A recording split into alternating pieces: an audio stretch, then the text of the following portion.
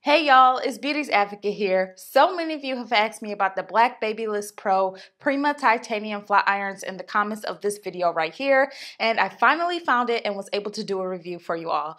Many of you thought this was the exact same flat iron as the Babyliss Pro Prima 3000, which is my holy grail iron, but baby, it is not the same at all. In this review, I'll go over all of the usual things, price, what it's made of, weight, etc. But I'll also give you all a comparison to the Babyliss Pro Nano Titanium Prima 3000 so that you can know the differences and why this iron is named so similarly but priced so differently. I've put a timestamp in the description box below, so let's get to it.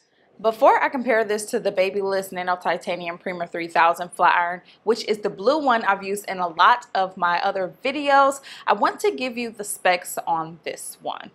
The first thing I noticed is the housing of the flat iron.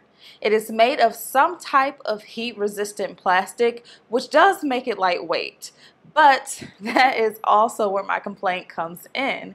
First of all, it feels a lot cheaper than many of Babyliss's other flat irons and it makes the weight distribution a little off. If you own the Babyliss Nano Titanium Ultra Thin Flat Iron or any of the other blue ones that Babyliss makes, the plastic on those definitely feels a lot more sturdy and of better quality than this. Since the plates are still made of titanium and it is housed in stainless steel, it basically makes the plate part heavier than the iron.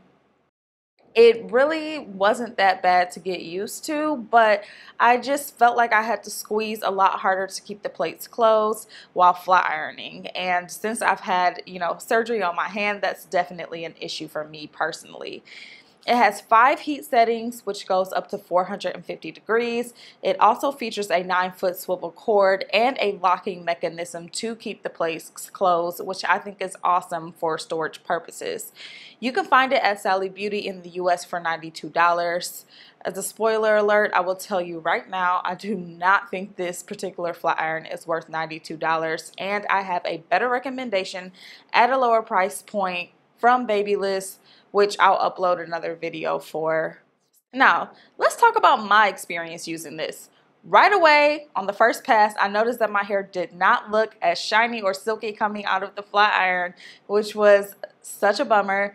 In this clip, I used a different iron on the other side of my head that is completed, so just as an FYI, only focus on the section that I'm doing right now as I continued and ran my fingers through it, it just felt so dry and frizzy. My cuticles just did not look smooth and I'm not used to that. So I increased the temperature from 410 degrees to 450 to see if that would help.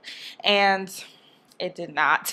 Unfortunately, the iron just was not cutting it for me. It made my hair smell a little fried, and I wasn't willing to risk the damage just for the sake of completing the entire side of my head for the video. So I decided to finish up with my Holy Grail iron, the Babyliss Pro Nano Titanium 3000. Speaking of that, let's move on to the comparison.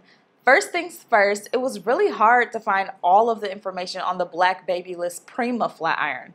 The official Babyliss website does not even have this one listed on the product page, which I found very interesting.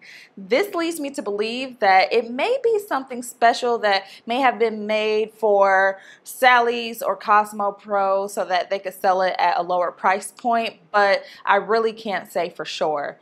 According to Sally's website, the full name of this flat iron is the Babyliss Pro Prima titanium flat iron.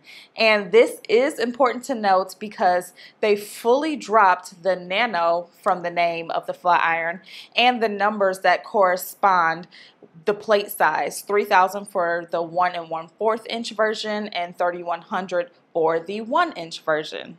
Why am I bringing this up? Because looking at the description, it does not contain the nanotechnology, and you can tell when you use it for sure. Now, according to Babyliss, the nano titanium technology is supposed to ensure that heat is distributed evenly throughout the flat iron and to help reduce frizz for sleek and shiny results. So without that, you're really just left with a cheaper version of the Prima 3000 flat iron, which is the main reason to purchase it in the first place. Look at this clip here. The difference in shine and frizz between the bottom section where I use the black Prima flat iron and the top section where I use the blue Prima 3000 flat iron.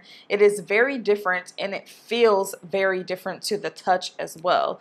I'm used to buttery, silky, smooth, not frizz and a mess. One thing I do like about this one, however, is that it does stop at 450 degrees instead of 465, but that is honestly probably the only thing it has over the Prima 3000. The other thing I noticed is that it did not curl my hair the way that I'm used to. Disclaimer alert, I don't know if this was user error or not, but the curl fell flat immediately. And I wasn't going to risk my hair any further with this one all in all, I don't recommend this flat iron. Normally, when I'm trying things out, I really try to research and find things that I think may be worth it for you to spend the money on so that I can give you good things to actually add to your hair kits um, that can give you salon results at home. But this one fell far below my expectations for a $92 flat iron. The best advice that I could give you is to either save up for the Babyliss flat iron that has nano titanium technology or just to purchase a completely different iron if the 3000 is out of your budget. And that brings me to my next video. In the next video, I'll tell you guys all about the Babyliss Pro porcelain ceramic flat iron, which I think may impress a few of you.